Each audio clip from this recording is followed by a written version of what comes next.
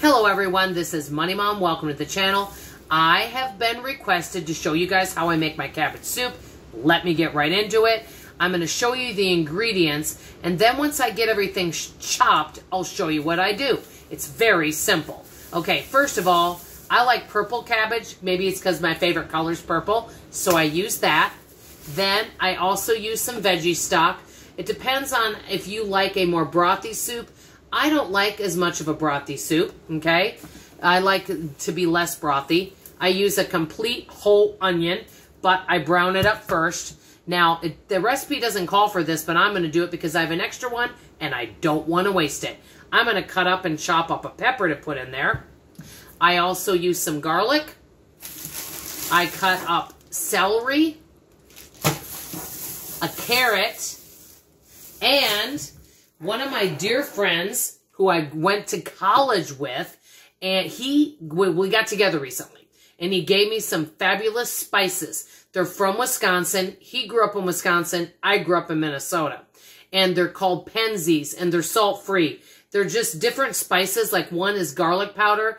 And so you can spice it any way you want. You can put a little salt and pepper. You can omit spice, whatever you want. Now, some people put a little lemon juice in theirs. I haven't done that. I may try that. So the next time you see me, you're going to see the pot with me browning things in it. But I'm going to go ahead and chop everything up, and I'll be back with you soon. Okay, all. What is in this pot right here is chopped up carrots, celery, pepper, onion, and garlic. Okay, I chopped it all up. Then you do put a little bit of olive oil in there and you will brown all of this up. I'll be back with you with the next step. Y'all, I forgot to say, I'm also putting in some fire roasted diced tomatoes. That is going to go in there as well. I'm still browning this up. I will show you. It's really yummy looking. I'm doing this one-handed, but it is so fragrant, especially with the garlic, onion, pepper. But the two ingredients I forgot to tell you that you will need is some type of oil. I'm using olive oil. Got it at Aldi. And the Happy Harvest, which I also got Aldi, fire roasted tomatoes. You could also use Rotel.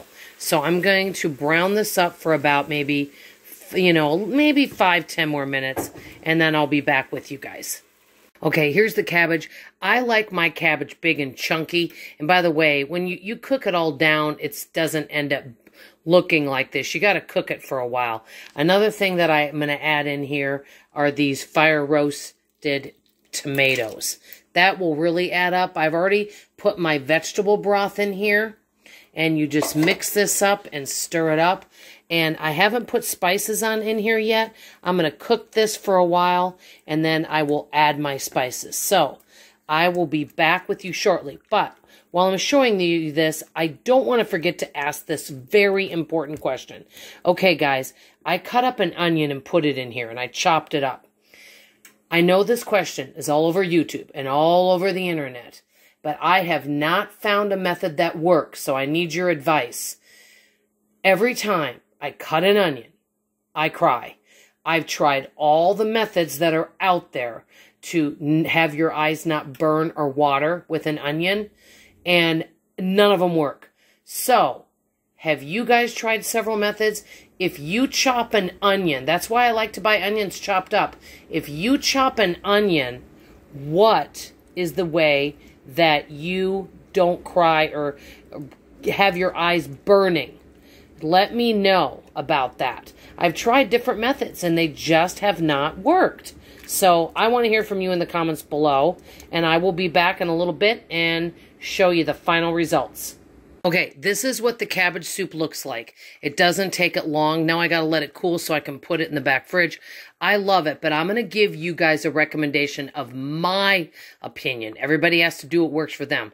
I highly recommend putting a bunch of different vegetables in there, maybe even chopped up mushrooms, peppers, celery, carrot, onions, garlic, all of that.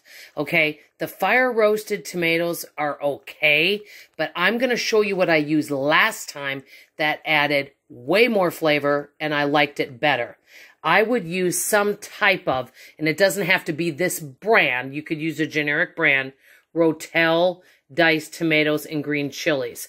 It adds a lot more flavor to this, but if you want to eat it mild, maybe you could put a little lemon juice, a little salt and pep. This is what it looks like plated up. I mean, honestly, if you want a snack, this is my opinion, you're not going to gain weight from eating a huge bowl of cabbage soup. I mean, it's delicious. Let me know if any of you like cabbage soup, and this is Money Mom signing off. And also let me know if you want me to do more cooking videos. I normally don't do very many on this channel, but I can do some cooking videos if you like. That's all I have to say for now. I love you. I appreciate you. And like always, I'll see you on the next video. Bye-bye.